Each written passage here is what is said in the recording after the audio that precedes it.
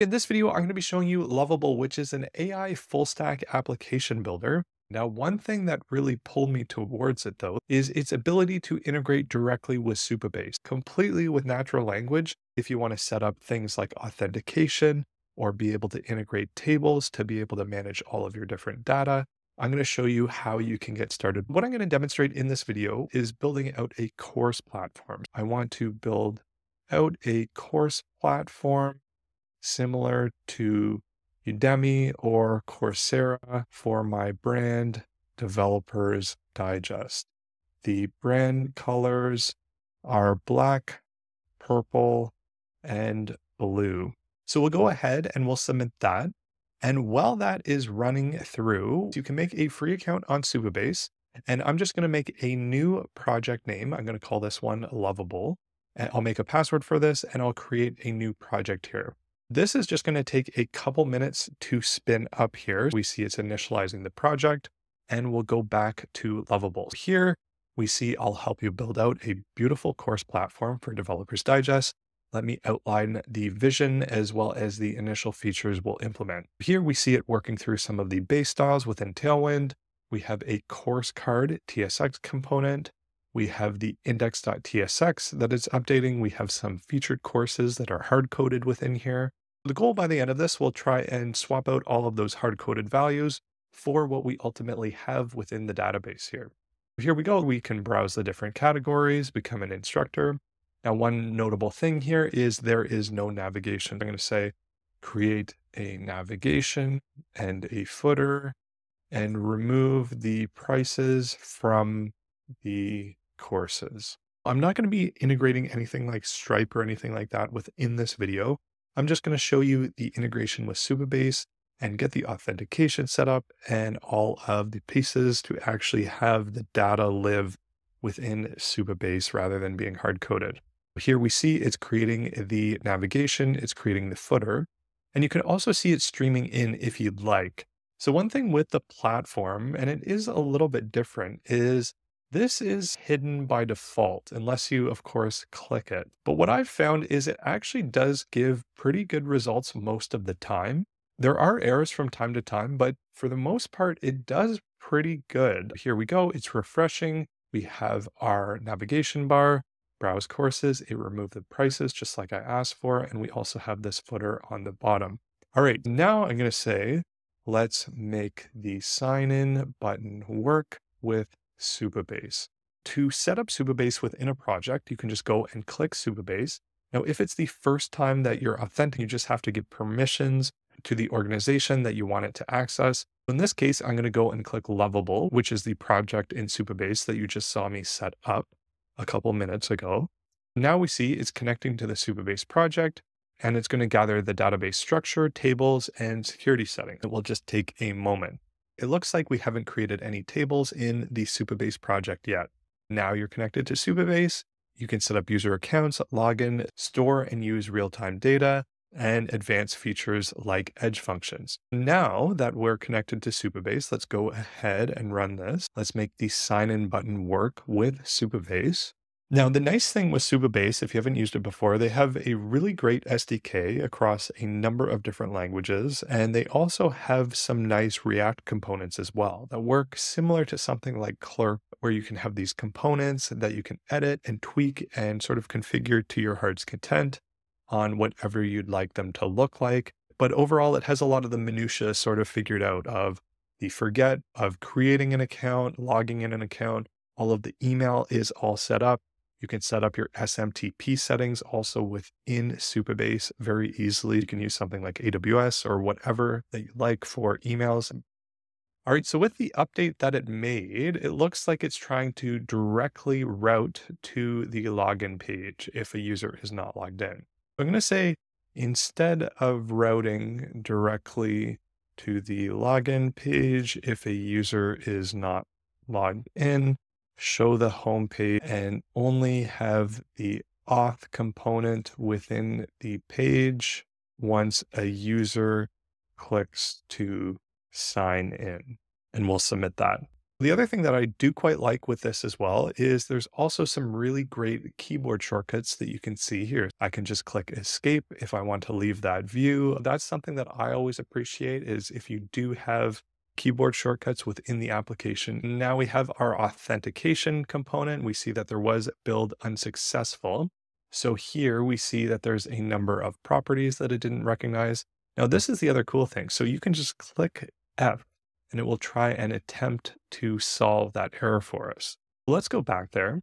Now, what was interesting is right before we got the error message, this actually looked a bit better, right? We'll see what it thinks the error is. We'll help fix the TypeScript error in the login component by correctly typing the auth component's appearance props. We saw a little error flash there. We see build unsuccessful. Let's go and we'll try and fix this again. It does look potentially like it's just a syntax error. I see the issue now. It looks like there are some extra markdown backticks at the end of the code snippet that's causing the build errors. I'll remove those and clean up the code. It's fixing the syntax, and there we go. The other thing to note with this is on Supabase, if you do want to use single sign-on, you will have to set those up. So that's something that Lovable isn't going to be able to do for you. So you can go ahead and enable or disable whichever ones that you do and don't want. And there's also some really great documentation on how to set up these as well.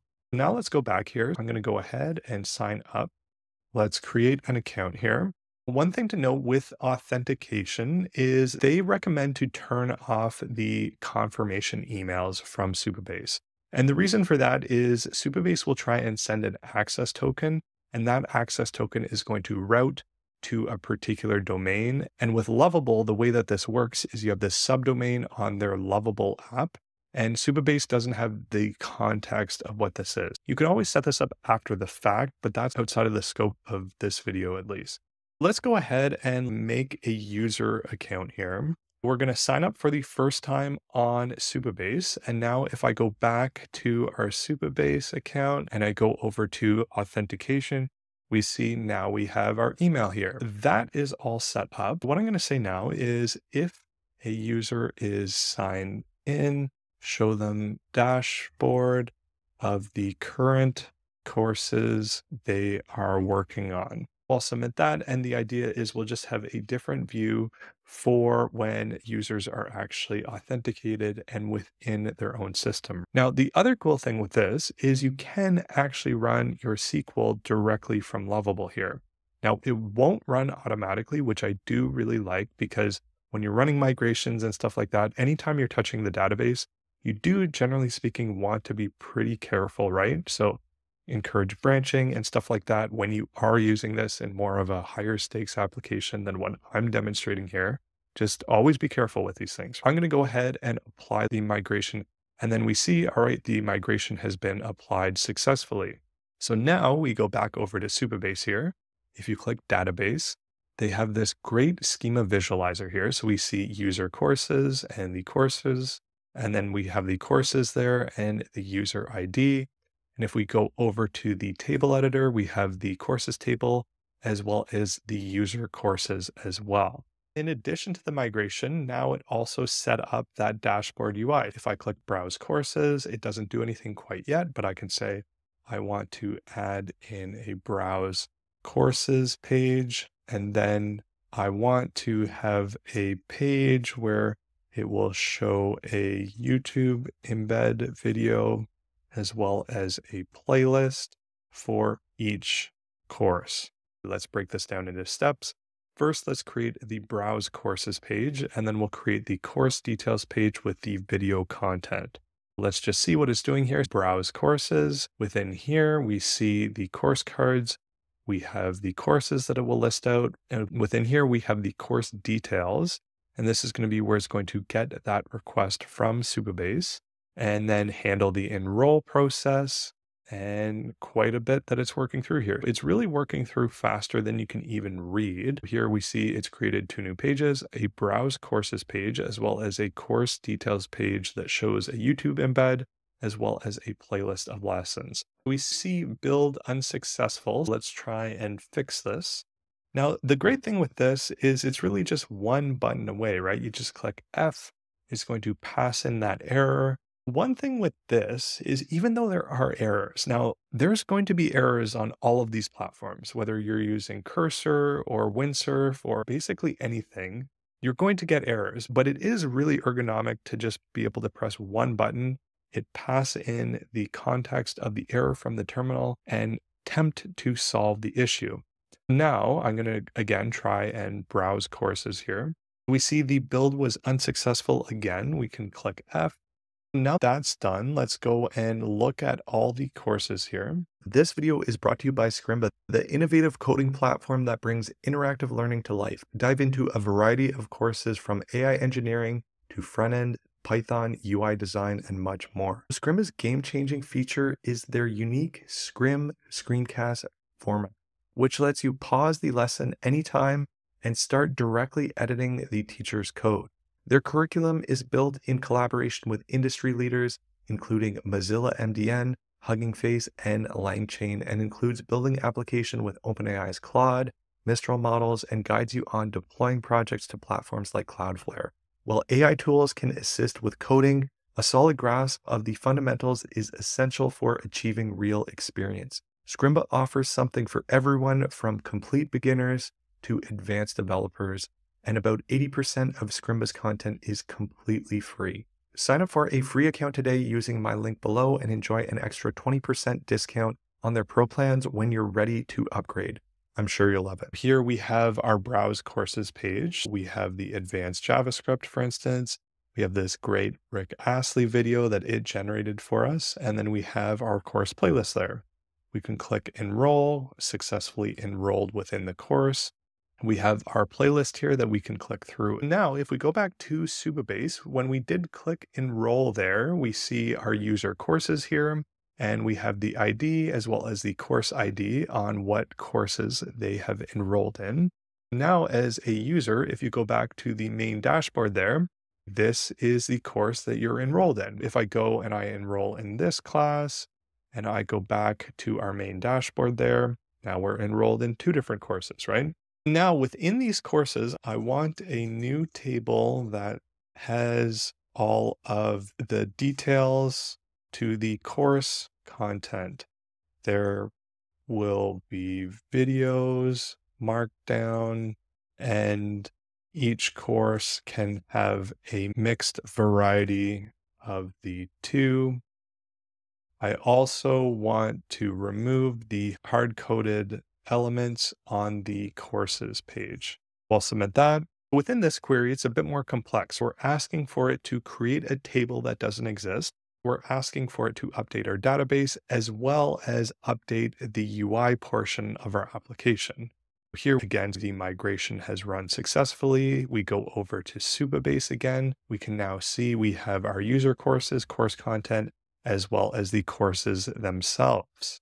Now let's update the course detail page to use the new course content table instead of hard-coded content. All right, so the course details pages now fetches and displays the actual course content. We see introduction to course overview. And again, if I go back to our database here and we go over to our course content, so we see course overview as well as introduction to course. If I change that, let's put in an exclamation mark, for instance, and I'll go back here. Now we see that exclamation mark, right?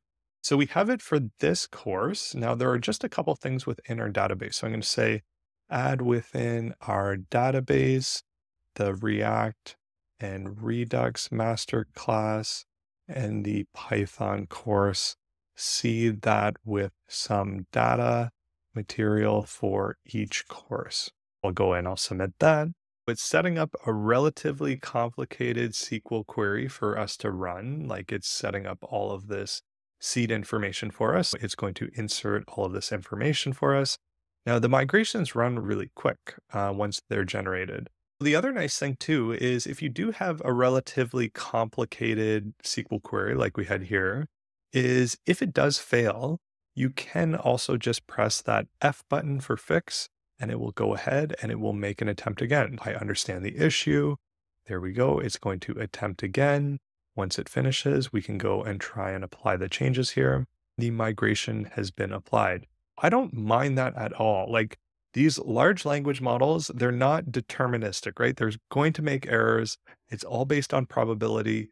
More and more over time, these things are going to get better and better. But there's going to be a margin where things are just going to go wrong. There could just be a, a comma in the wrong place or a syntax error. Like it's very easy for these things to potentially happen sometimes. Now within our course content, there we go. So now we have an actual Traversy Media React crash course here. We can uh, enroll in that. We have the ability to do some reading and videos. We also have what actually looks like a markdown renderer as well. The next step would be actually setting up the content to have it rendered dynamically for what you have clicked on. You could also potentially move it. Now, that's pretty much it in terms of the build that I'm going to show you. Very impressive, right? What you can build with this. Now, the other nice thing with this is you can also just click GitHub to make a GitHub repository. It's as easy as a couple clicks. It will make that repo for us.